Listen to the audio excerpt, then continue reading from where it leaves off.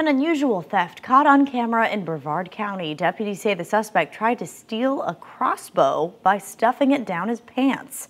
Sheriff Wayne Ivey shared this surveillance video on his Facebook page. He says it all happened at a True Value store in Mims earlier this month. Investigators say Darren Durant was able to make it out of the store but was arrested a few days later. We did check, and Durant is currently locked up in Seminole County on a separate burglary charge. However, Sheriff Ivey says he will eventually face felony charges in Brevard County.